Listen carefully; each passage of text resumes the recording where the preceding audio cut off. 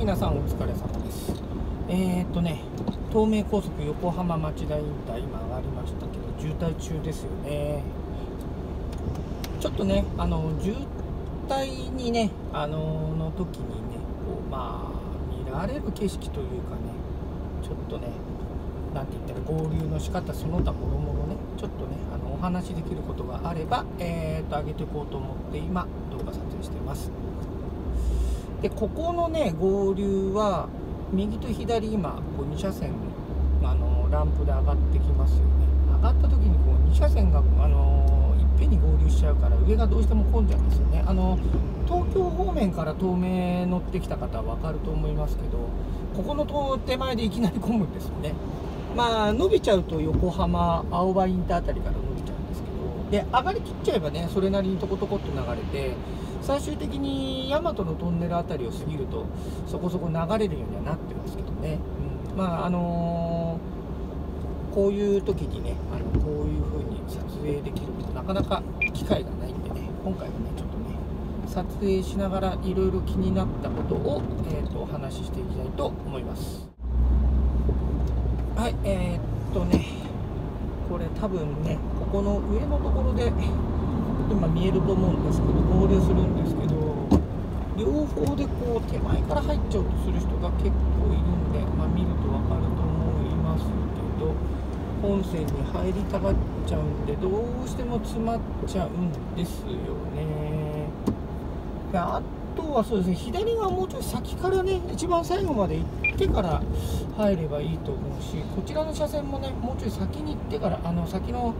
ちょうど見えますかね。あのバスの先あたり。ああやって入って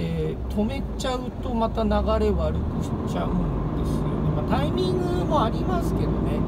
基本的にはもう合流するときは先まで入ってそれでね合流していかないと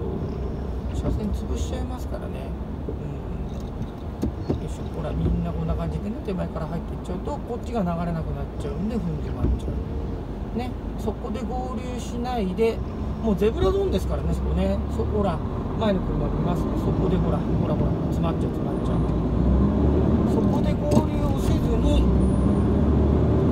こういう感じでまあこうやって入ってきちゃう人もいますけどね。前に詰めていって先から合流する。あとね無理やり頭入れちゃう人いるけどちょっと見ててください。あもうこの人もそうですね。いやもうぐちゃぐちゃですね。だから渋滞しちゃうんだよな。ある程度みんなルール守ればそうでもないんですけど。で先まで行って無理やり入るんじゃなくってまあこの人も入っちゃいましたけど前の人ね。こういう感じで先まで行ってウインカーを上げつつ流れでね絶対ね頭開けてくれる人いるんですよ。まあ意地悪くて開けない人もいますけどね。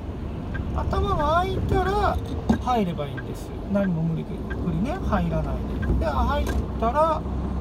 ハザードを出す。これでスムーズなんでしょ？ね。これでこんだけでっかいトレーラーがスムーズに合流できるんですよ。それをね手前から入っちゃったりとかあとは自分が入るの我先で頭突っ込むんじゃなくってね、スムーズに合流するように、まあ、こっちも譲る側、今、譲る側になったんで、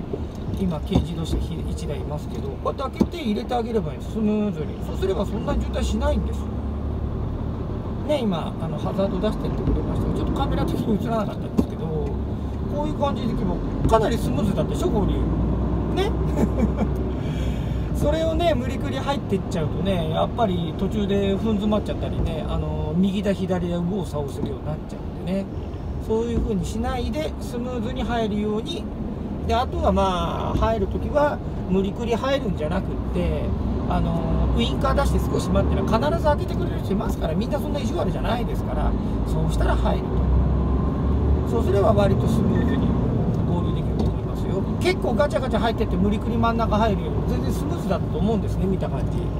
どうでした？今入ったねまあ、まあこんな感じでね合流していけばいいと思います。あと、まあ、ずっと感じてることなんですけど全体的にみんな車間距離取ってないですね。右のね、あのー、これは炭酸ガスのトラックか。これなんかまだ前開けてますけどね。あんまりねカツカツに詰めてってもねコツコツブレーキ踏むだけで意味がないんで昨日昨日っていうか前の動画でちょっとお話ししましたけどね、まあ中にああやって右だ左だ行く人いるね結果としてメリットでこれ流れ見てても分かりますけどこの間お話ししましたけど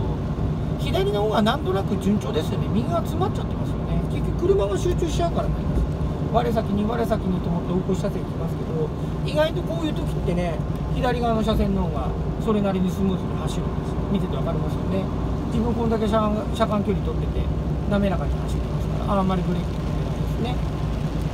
燃費のためにもいいですね。それの方がね雨強くなってきたからましてはこうやって視界が悪いとね結構ねあの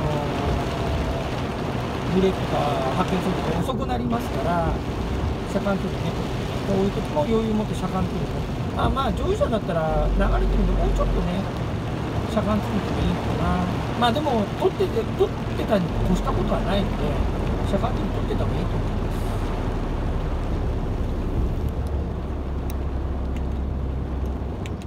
はいちょっと進んできましたけどね左の車線よく見てください。ね。流れ方違いますよね。左の方はどちらかというとスムーズですよね、うん、だからこういう時に渋滞になっちゃった時は乗りくり追い越し車線に入らないで左側キープ。これの方が全然楽ですでこれね前にも言いましたけどマニュアルトラシュトランスミッションですけど一度もクラッチ切ってません。ね。あの停するとクラッチ切らなきゃいけないんですけど。クラッチ切らずにこうやって走れます流れでどこの車線走ってもこう流れてきても渋滞してる時はそんな流れ変わりませんからね、うん、だったらこれの方がいいわけですね。左側を走ることを特に渋滞時にお勧めします。で大和のトンネル抜けると渋滞こうやって流れてきますから。そしたらあとは流れによってね。あとは臨機応変で例えば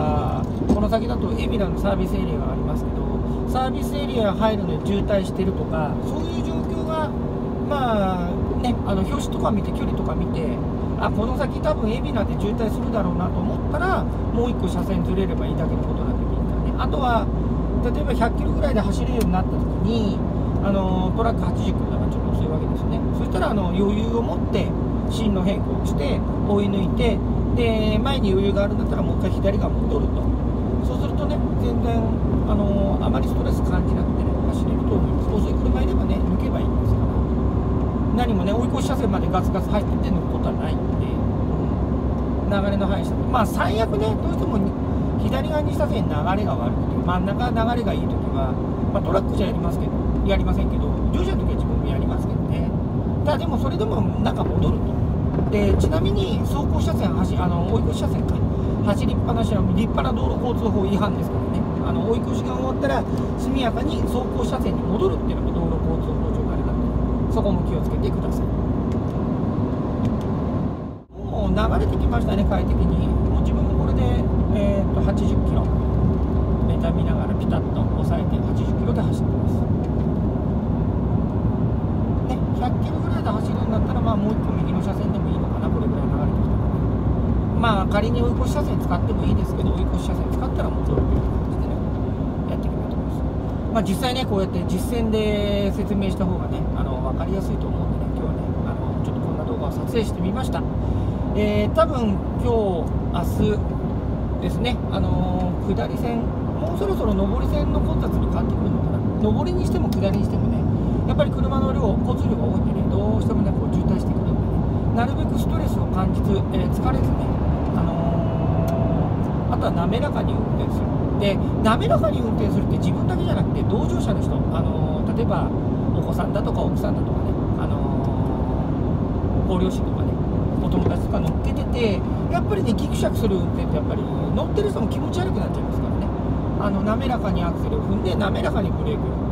これがね、あの同乗してる方にとってもねあの疲れをね感じさせない運転のコツの一つなのでね、えー、とやってみてください。はい、えー、ここまでご視聴ありがとうございました。この動画がいいと思った方はグッドボタン。そしてチャンネル登録の方もよろしくお願いします。ちょっと夏休みなんでねあのー、乗用車目線でこうまあうちらがやってることを感じてることでねあのお話を何本かしてますのでねあのよろしかったらまた取るようでしたらお付き合いをお願いします。はいこの後あのー運行される方ご安全に運行してください。またね、あのー帰省される方遊びに行く方、えー安全運転でねあの事故ない事故なく楽しく帰ってきてあの楽しい思い出を作るようにしてください。はいではご視聴ありがとうございました。ご安全に。